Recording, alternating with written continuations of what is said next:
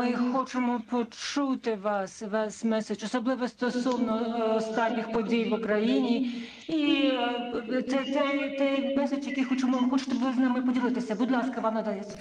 Дуже дякую за цю можливість. Дякую всім, шановний пане президенте Мішель, шановна пані президентка Роберта, шановні друзі, ради можливості звернутися до всіх вас без виключення. Сьогодні вже 96-й день повномасштабної війни Росії проти нашої держави, проти усіх нас і проти усіх вас, проти європейської єдності. А Росія хоче бачити на таких засіданнях не цілісну європейську раду, яку ми зараз бачимо, і не єдиний Європейський Союз, а, а 27 окремих держав, 27 уламків, які неможливо зібрати докупи. Це їх бажання.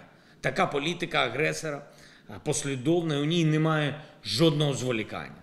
На відміну від Європи, Росія не потрібно влаштувати ось такі саміти і протягом довгих тижнів шукати компромісів. Я, до речі, е, хочу вам подякувати за те, що ви розмовляєте щодо цих компромісів, за те, що ви хочете знайти допомогу і підтримку Україні.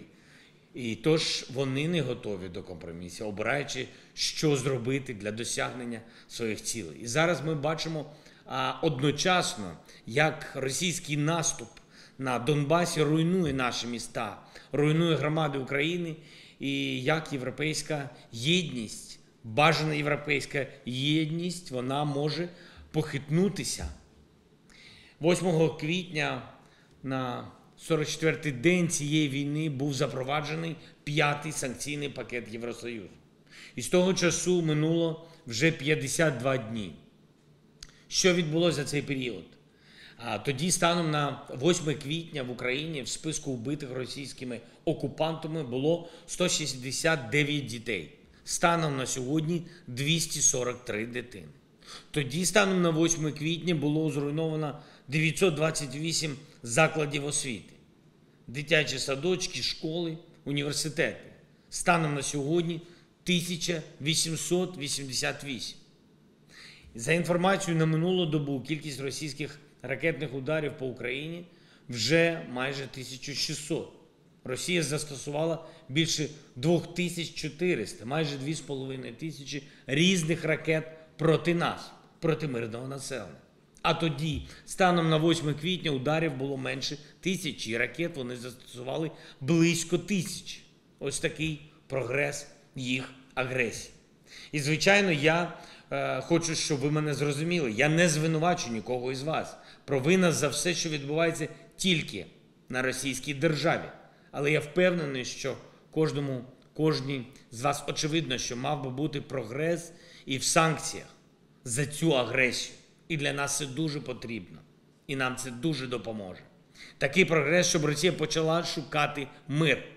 І тільки це може бути нашою спільною вимогою. Мир. Жодних компромісів за рахунок нашої територіальної цілісності, нашого суверенітету не може бути. Я вдячний усім, хто просуває шостий санкційний пакет, намагається зробити його ефективним. Однак його поки що, на жаль, чомусь немає. І чому, е, чому ви залежите від Росії, від їх тиску, а не навпаки. Росія повинна залежати від вас. Чому Росія все ще може заробляти майже мільярд євро на день, продаючи енергоресурси? Чому банки, держави-терористи все ще працюють з Європою та світовою фінансовою системою? Серйозні запитання. І чому на території Євросоюзу все ще активні російські пропагандистські канали? Це інформаційна зброя Російської Федерації. Чому російські державні службовці, які підтримують війну, і судді, які допомагають відкрито допомагають репресіям, досі не під санкціями? Кожне з цих важливих питань не просто про санкційні пакети чи війну в Україні. Все це про нас з вами, все це про саму Європу. Шановні друзі, пані та панове, тільки завдяки більшій єдності можна знайти ефективні відповіді на все, що робить Росія проти нас і робить проти вас. Якщо хтось торпедує корабль, не може одначе декілька каю сподіватися, що залишиться на плаву, коли інші потонуть. Ви бачите, що наслідки агресії Росії вийшли за межі нашого континенту і обов'язково повернуться звідти ще більшими проблемами для всієї Європи. Наприклад, масштабний голод в Африці. У країнах Азії означатиме, що південній і південно-східній Європі загрожує нова масштабна міграційна криза. І коли ви чуєте з Москви шантаж продовольством, то знайте, будь ласка, що це їхній свідомий удар насправді по ваших суспільствах. Щоб, щоб забезпечити цей удар, Росія просто використовує народи Африки і Азії як заручників, свідомо штовхає їх до голоду, щоб люди звідти масово втікали до вас. Чи ви готові до цього? Я думаю, що ні. Давайте поглянемо і на цінову нестабільність на енергоринку. Це ж не просто про якісь там звичайні ринкові коливання, які періодично спостерігаються. Ще торік Росія створила умови, щоб рекордно зросли газові ціни. Зараз, вкладаючись у нестабільність, Росія робить так, щоб всі енергетичні ціни зашкалювали. А для чого? Щоб європейці протестували і не проти агресора і їх агресії, а проти своїх же держав, проти вас особисто, проти свого керівництва. І якщо це загроза для кожного і кожної з усіх країн, кожного з вас, якщо це ставка Росії на політичний хаос у ваших країнах, то чому? То чому дехто ще думає, що може захиститись наодинці? Європа має продемонструвати силу, бо тільки силу Росія сприймає як аргумент. Настав цей час, настав час вам бути не окремими, не уламками, а єдиним цілим.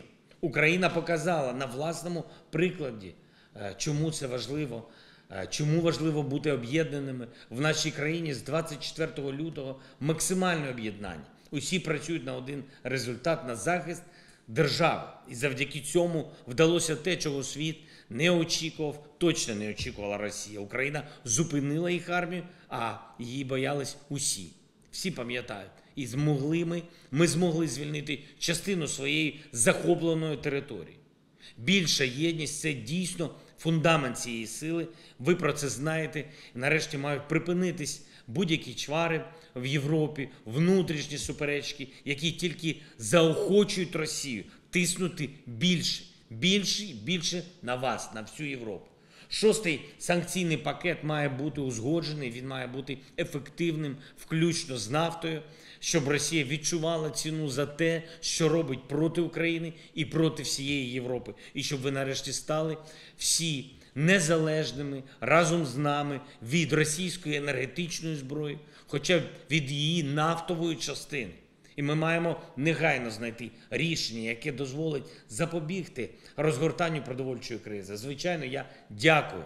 Дякую за ваші зусилля разом з партнерами по створенню зелених коридорів для аграрного експорту з України. Але все ж таки ви розумієте, що надійне гарантування продовольчої безпеки неможливо без припинення війни Росії проти України на нашій землі. Бо не може бути спокійної торгівлі, впевненого агровиробництва, якщо Росія зберігатиме можливість перехоплювати судна з українською агропродукцією і не тільки в Чорному морі, чи наносити удари по наших містах, портах, по елеваторах, іншій інфраструктурі. Пане президенте Мішель, е, ви нещодавно були в Одесі і були змушені спуститися в укриття через ракетну атаку. Пан президент відчув на собі е, те, про що я зараз говорю. А якщо це відчувалося навіть на такому рівні, то чому Росія досі не визнана державою терористом, держава спонсором тероризму? І ще один аспект: ніколи європейський дім не був завершений е, без України. Не буде. Ніколи не буде повноцінної європейської сили без України. Сам факт того, що Україна залишалась уламком Європи десь там, за кордонами ваших держав, сприяв тому, що у Росії розвинувався агресивний апетит на захоплення сусідів. Тільки розширенням, посиленням європейської єдності можна не допустити повторення того, що Європа пережила і 24 лютого, І в 2014 році, і навіть у дві- у 1968 і в 1956 роках.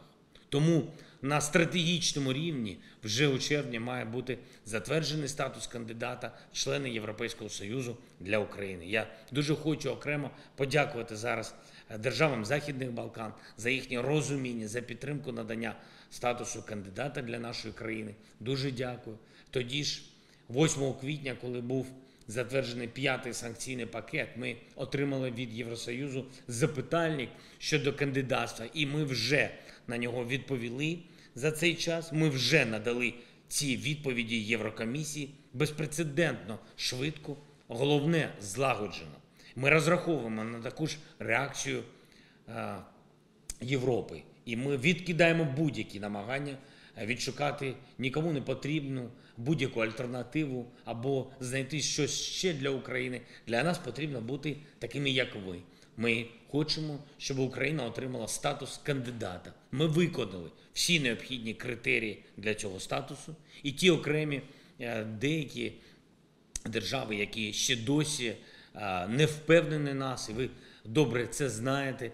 Насправді я впевнений, що змінять, змінять свої думки і покажуть нашу об'єднану силу, силу наших народів, які безпрецедентно більшістю підтримують а, наше членство в Європейському Союзі, силу ваших народів, силу ваших держав і об'єднаної Європи.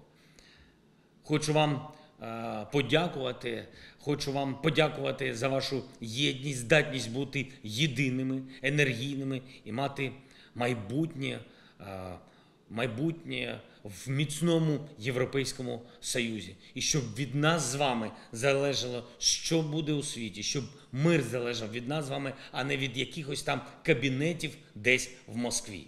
Саме зараз ви можете визначити, чи дійсно правдиве все те, що Євросоюз говорить сам про себе, про єдність в різноманітті, про спільні цінності і однаковий підхід до всіх демократій Європи. Нам потрібен спільний митний простір, який посилить і Україну, і всіх, хто залучений до торгівлі з нами. Потрібен спільний платіжний простір, який прискорить інтеграцію на рівні звичайних людей і спільний роумінговий простір дуже важливий, щоб наші переселенці, а їх більше 5 мільйонів, не відчували дискримінації. І, звичайно, абсолютно необхідна є подальша збройна та фінансова підтримка для України.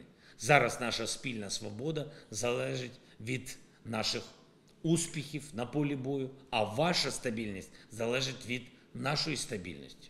І це ще одна причина, щоб знайти і заморозити, а потім конфіскувати всі російські активи і направити їх на відбудову і компенсацію завданої війною шкоди.